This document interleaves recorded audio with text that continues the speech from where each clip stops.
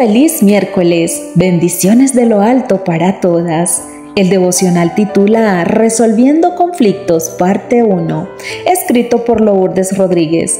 La cita bíblica la encontramos en Filipenses 4.2. Dice, ruego a Evodia y a Sintique que sean de un mismo sentir en el Señor. Poco sabemos de esta buena mujer, pero sí lo suficiente como para extraer una gran enseñanza.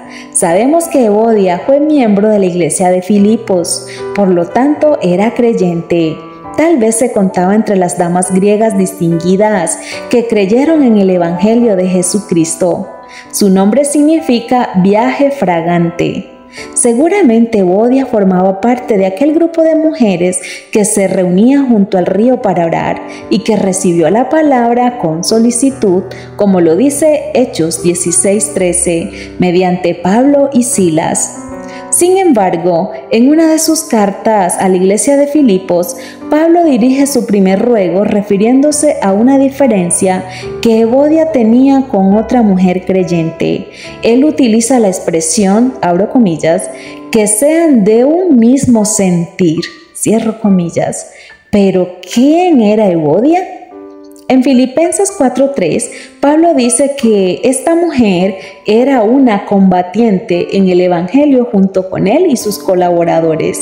Los filipenses debían conocer la obra que desempeñaba esta gran guerrera, pero ahora una pequeña diferencia con otra colaboradora del Evangelio empañaba aquella gran labor. No sabemos cuál fue la razón, pero parece que el desacuerdo se había hecho público y estaba causando división en la iglesia. Nunca faltan los malos entendidos en nuestras congregaciones. Es triste ver que dos mujeres fervientes en la iglesia del Señor terminen enemistadas entre sí Satanás usa cualquier situación para sembrar discordia entre los hermanos.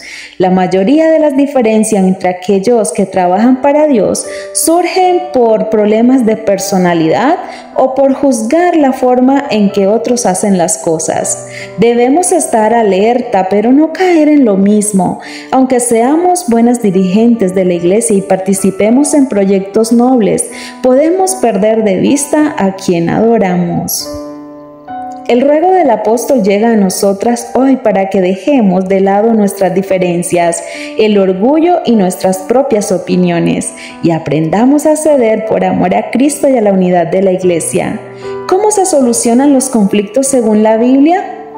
En la segunda parte de este tema lo analizaremos.